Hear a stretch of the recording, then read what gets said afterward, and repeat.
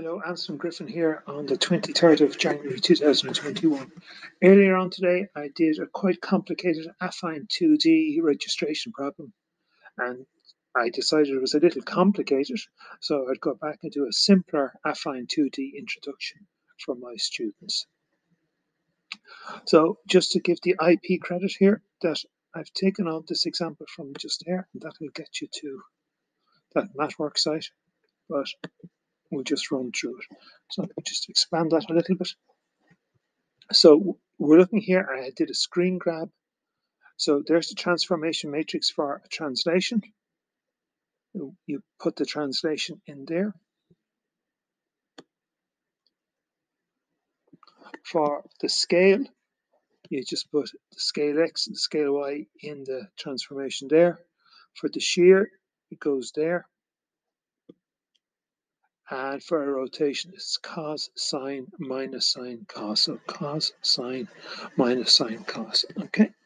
So today we're just going to be looking at rotations, but if we can do a rotation, we can do any of them. So I'm going to create uh, a transformation for uh, an, for um, rotation.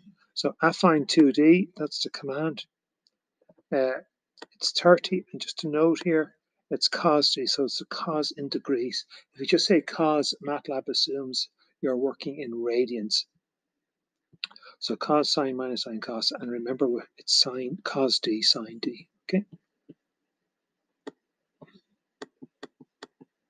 So we're going to do the forward transformation of 10, 0, and when we do, what would that point be using that T form that that we just created above, it would be 8.6603 and 5, and we're just going to look at that as a little plot.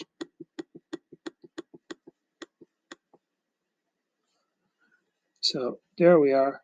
So we're plotting 10, 0 in blue, and we're the transform point x, y in red. The axis is 0 to 12 on the x and y axis, and it's square. So you know, they're the same dimensions. Well, not the same. Let's see in a sec.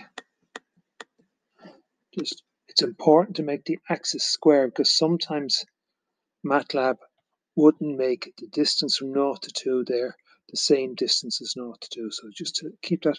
So there's the original point in blue, and there's the point spun uh, using a 30 degrees.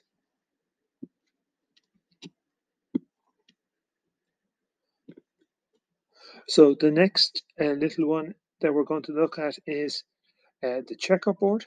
You see there, we're going to take the checkerboard, rotate it by 30 degrees, and then we just show it as a montage. So there's the checkerboard 40. And there it is spun on the right hand side. Now, we want to work out um, the T form. So we pick known points on the left and the original one. So we're picking 41, 41, and 281, 161, and the corresponding points in the rotated image. Now, there is a command called CP select, control point selection, but I can't really do that here today and it would take very long. So I'm just using their commands, MATLAB commands. So you pick known points and you pick the corresponding moving points, or the points that have moved in the rotated image. Uh, I'll look at that now in a second, but when we're working out the, the transformation matrix, you have to say what transformation type you used, and this is a subset of this, and this is a subset of that etc. So this non-reflective similarity is a subset of similarity, and similarity is a subset of affine.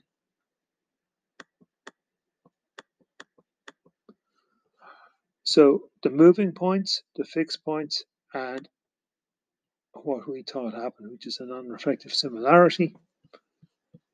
And there is the T form and then we actually see the contents of the T form. We say T form dot T, form dot transformation. And there they are, and it thinks there has been a, a translation as well. Okay, and just a reminder says just go back up the top there. Remember, it's cos sine minus sine cos. So just go back to where we were. Cos sine minus sine, go away, minus sine cos, okay? Now we're going to put the rotated one back to the original one. So imwarp, that's the command to carry out the warping. The J is the rotated one. Using the transformation that's that lad up above. The output view is the same reference size. So we're going to make it the same size as the original image. And then we're going to show the pair of images.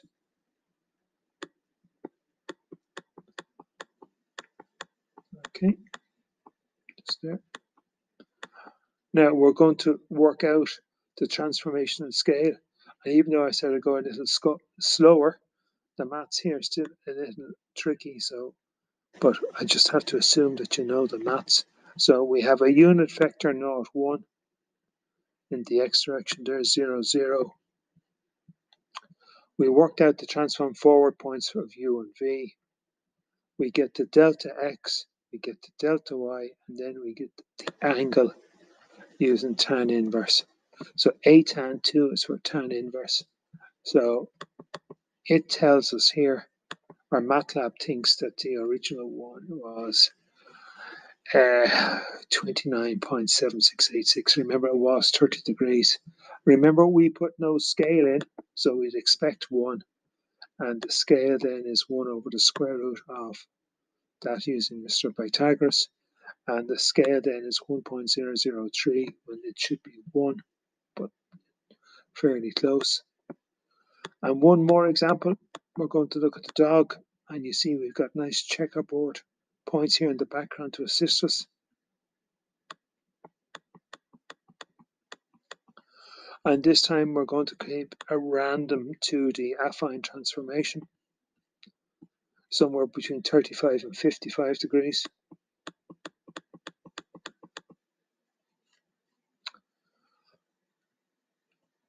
That's the uh,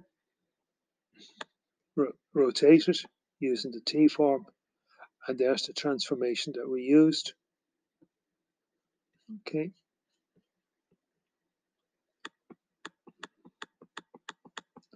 And there's the dog spun round.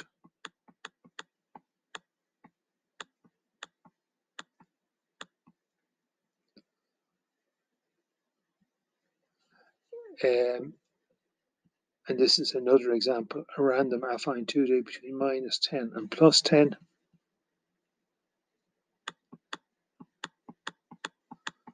And there we have the dog spun round again.